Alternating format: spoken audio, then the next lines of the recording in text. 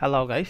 Today I'll show you uh, how to uh, fix uh, hydration error in Next.js projects. So basically whenever you uh, go to uh, implement any Next.js project so you may face this uh, error hydration error. In many times I, I had been facing this error but now I can solve these problems. I got a, a stack overflow answer here and uh, he told that he had uh, this error and uh, he had used ptag nested inside another ptag that means nested tag so he was using ty uh, typography in material 5 render text. So switching box from typography that means uh, he used box instead of typography to fix this error. So i was uh, also facing this this error. And the error were coming from inside uh, this component all courses component.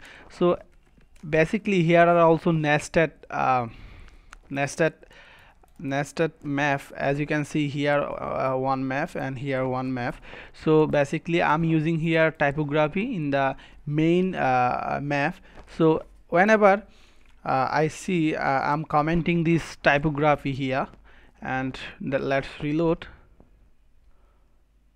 so the error is go gone away. So as you can see the uh, solution that you can't use p tag or uh, typography nested typography tag. So if you uh, need to use this you can uh, use another tag like uh, boxes or anything on anything else. So I can use this. Now I can use this tag let's comment this tag and paste here. So let's see.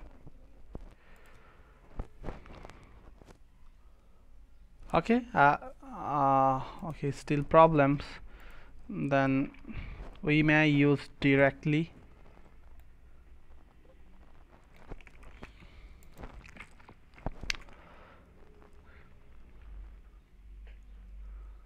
So let's see I think uh, we have solved the issue. So as you can see here uh, we have solved the issue. So whenever you uh, see this error in uh, Next.js project when uh, you uh, use uh, material UI then you can do that. And when you uh, use raw HTML you can also do this. Uh, don't put uh, nested p tag inside any nested tag. Thank you so much. If you like this video please uh, subscribe my channel and press the bell icon. Thank you so much